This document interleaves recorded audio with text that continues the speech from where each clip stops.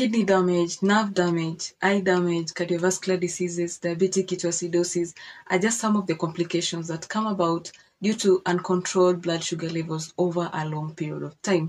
But the good news is that you can totally control and prevent occurrence of these complications by simply uh, making sure you regulate your blood sugar levels you are on a strict modified diabetic diet, you're exercising and taking your medications as recommended.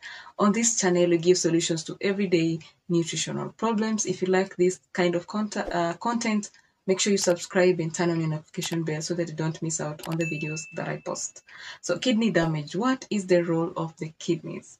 The role of the kidneys is to filter and remove waste products and fluids from your body. So what happens when you have extremely high blood sugar levels over a long period of time is that it, it damages the, uh, the tiny blood vessels in your kidney, reducing the kidney function. And when the kidney function is reduced, then you develop swelling.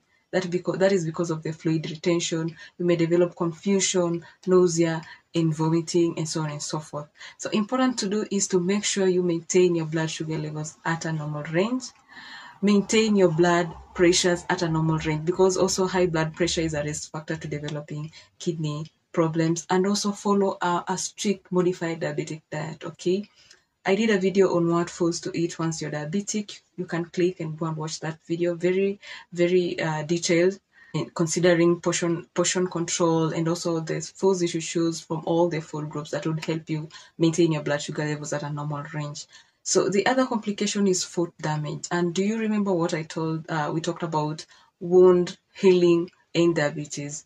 So once you're diabetic and you have very high blood sugar levels over a long period of time, then you might lose sensation in your feet. And once you don't have sensation in your feet, you may not be able to feel for cut, for sores. You you might develop wounds very very fast because one one there is poor blood circulation. Number two, there is too much sugar in your bloodstream, providing a very good environment for infections. Uh, for bacteria, hence infections take too long to heal.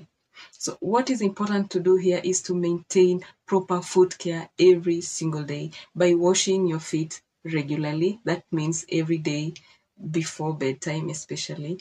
Drying your feet very well, including in between your toes. Putting on well-fitting socks, okay, not too tight. Also for the shoes, well-fitting shoes, uh, close shoes so that to prevent uh, the, the cuts and the development of the wounds. Also, in case you develop blisters and cuts, it's good to seek medical attention very, very fast. So with proper foot care, you're able to reduce your risk to amputations and all these wounds that take too long to heal to a very great extent.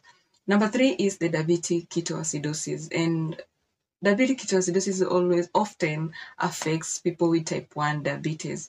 And what happens is that whenever you eat food, it gets into your body as glucose into your blood, and then from your blood to the cells with the help of insulin okay, produced by the pancreas. But in type 1 diabetes, notice that there's no insulin being produced, and therefore there's no uh, sugar getting from your blood into your cells. Okay, so your body gets into a uh, into a condition where it starts to break down the fat, and breakdown of fat leads to accumulation of blood acids, rather called the ketones okay, which may build up in your blood and even spill up into your urine. This is also a very uh, common symptom of prediabetes, which may lead to nausea, vomiting, polyuria, that is excessive urination, polydipsia, that is excessive thirst, which can be life threatening. Okay, so important to do here is to regulate your blood sugar levels at a normal range.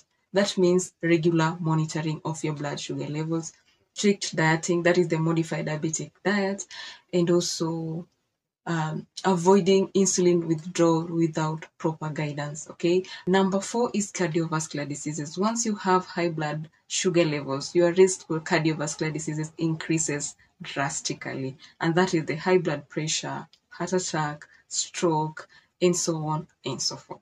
What happens is that when you have high blood sugar levels, it may lead to hardening of the arteries. And hardening of arteries may reduce blood flowing to your brain, causing stroke, reducing blood flowing to your heart, causing heart attack, and so on and so forth, even high blood pressures.